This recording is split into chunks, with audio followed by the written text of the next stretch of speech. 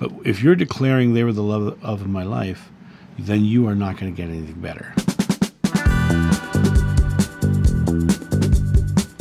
Hey guys, so I often have people contact me who are just pining for the one that they lost, the one who has, has crossed over, the one who has left them, the one who is is on with their life, be, be it on the other side or here.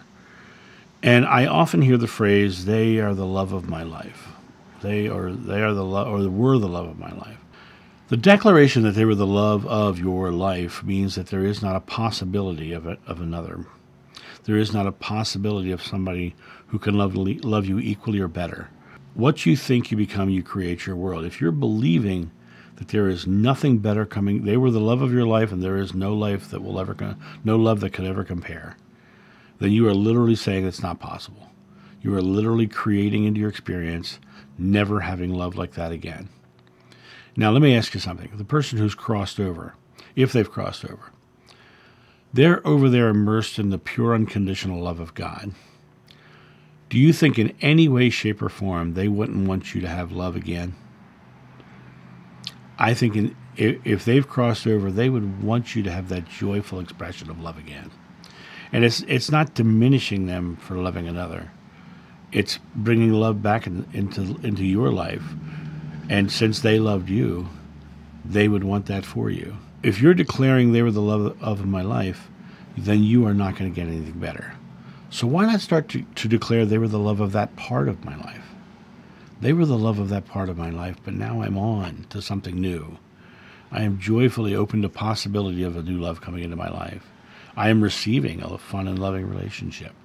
When you start to put yourself into, into the belief that something new could come in, something better could come in, something equal to could come in, then you're no longer limiting yourself to a, a belief that does not allow you to have that experience again you are the creator of your experience.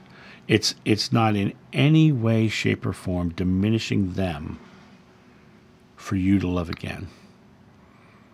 They were a magnificent part of your life. They were the love of that part of your life, and you'll always carry love for them. And the next person to come in may, may be so beautiful and that they respect that. Oh yeah, that's so wonderful. But when someone comes in who who wants to love you and you say no because I you're not the love of my life, you're literally negating the opportunity to love again. So choose to say, you are the love of that part of my life. And this part I'm doing something new.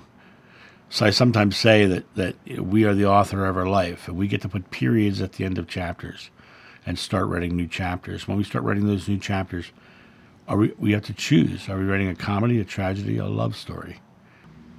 you have the ability to bring someone new into your life, to have that experience, have a greater expression of love or an equal expression of love here in this world.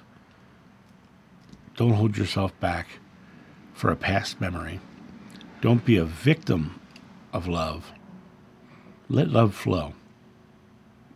You guys have a great day. Don't forget to like, subscribe, and share. And I'll talk to you soon. See ya. Bye.